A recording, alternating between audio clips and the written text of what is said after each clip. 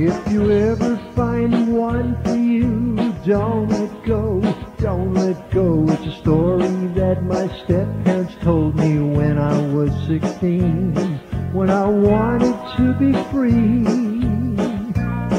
Now I know just what they meant for all those years.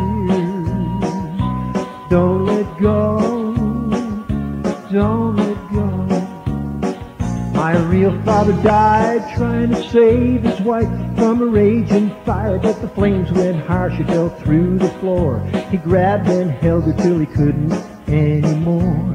She yelled, please don't let go.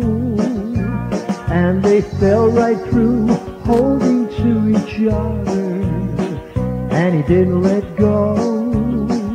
He never let go.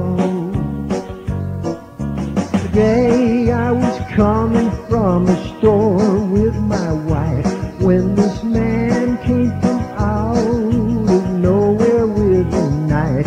And before I knew it, he stabbed her. And she said, don't let go, All I thought about was not letting go as she was rushed to the hospital. Then the doctor told me she was pregnant, so I ran to see my wife. It's not fair, it's so dirty. Cause I remember